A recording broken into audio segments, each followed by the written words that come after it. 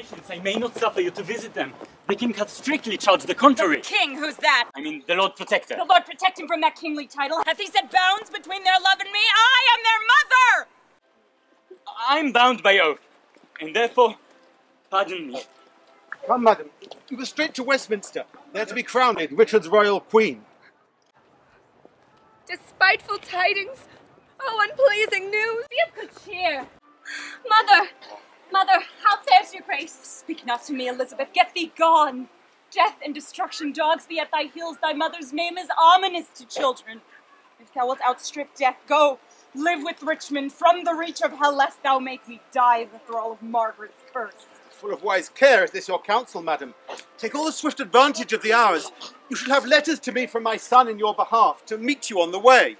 Oh, accursed womb! Bed of death! Come, madam, come. I in all haste was sent. And I with all unwillingness will go. And would to God that the golden crown were red hot steel to sear me to the brains. When he that is my husband now came to me as I followed Henry's course. But when I say I looked on Richard's face, this was my wish. Be thou, quoth I, accursed. And when thou wettest, let sorrow haunt thy bed. And be thy wife, if any be so mad, more miserable by the life of thee than thou hast made me by my dear lord's death. Lo, ere I can repeat this curse again within so small a time, my, my woman's heart rosely grew captive to his honey words, and proved the subject of mine own soul's curse. For never yet one hour in his bed did I enjoy the golden dew of sleep. Besides, he hates me, and will no doubt shortly be rid of me. Poor heart, adieu, I pity thy complaining. No more than with my heart I mourn for yours. Go thou to Richmond, and good fortune find thee. Go thou to Richard, and good angels tend thee. Go thou to sanctuary, and good thoughts possess thee. I to my grave, where peace and rest lie with me. Stay. Yet look back with me unto the tower.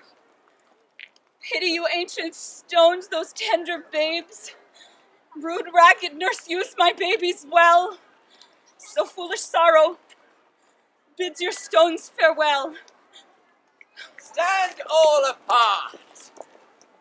Ladies and gentlemen, Richard III, King of England.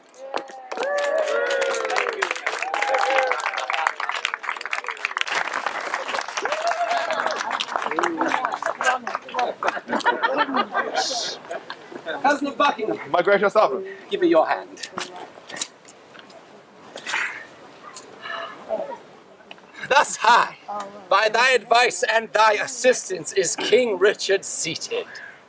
But shall we wear these glories for a day, or shall they last and we rejoice in them? Still live they, and forever let them Ah, last. Buckingham. Ah.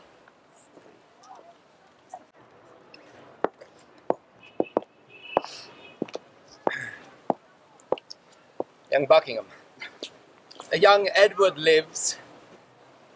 Think now what I would speak. Say on, my loving lord. By Buckingham, I say I would be king. Why, so you are, my thrice renowned lord. Am I king? Tis so, but Edward lives. True, noble prince. Cousin, thou was not one to be so dull. Shall I be plain? I wish the bastard's dead. What sayest thou now? Speak suddenly, be brief. Your grace may do your pleasure. Tut tut! Thou art all ice, thy kindness freezes. Say, have I thy consent that they shall die? Give me some, uh, some pause, some little breath, my lord. I, I will resolve you here and present.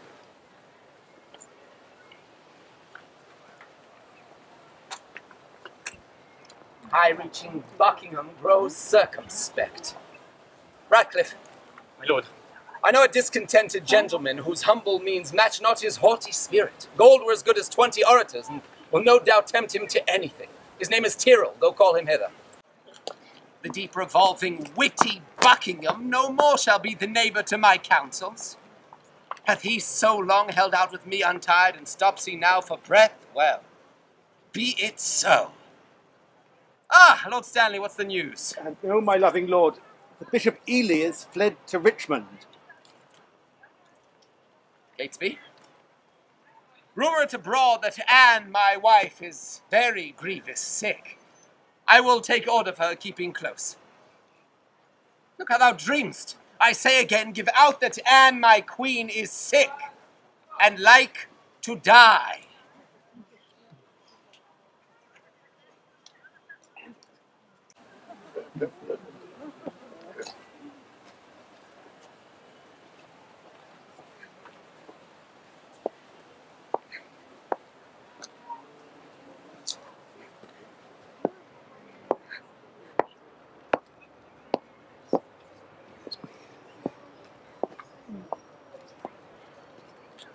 I must be married to my brother's daughter, or else my kingdom stands on brittle glass. Murder her brothers, then marry her. Uncertain way of gain. But I am in so far in blood that sin will pluck on sin. Tear falling pity dwells not in this eye. Ah, Tyrrel, And your most obedient subject. Darest thou resolve to kill a friend of mine? Please you, I'd rather kill two enemies. Well, there thou hast it. Two deep enemies. Let me have open means to come to them, and soon I'll rid you from the fear. Oh, thou singest sweet music.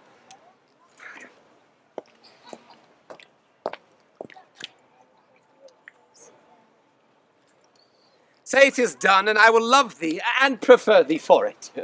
I will dispatch it straight.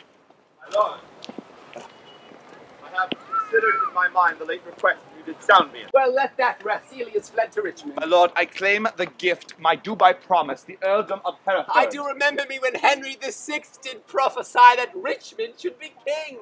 When Richmond was a little peevish boy. a king, perhaps, perhaps. My lord. How chance the prophet could not at that time have told me, I being by, that I should kill My him? lord, your promise for the earldom. Richmond.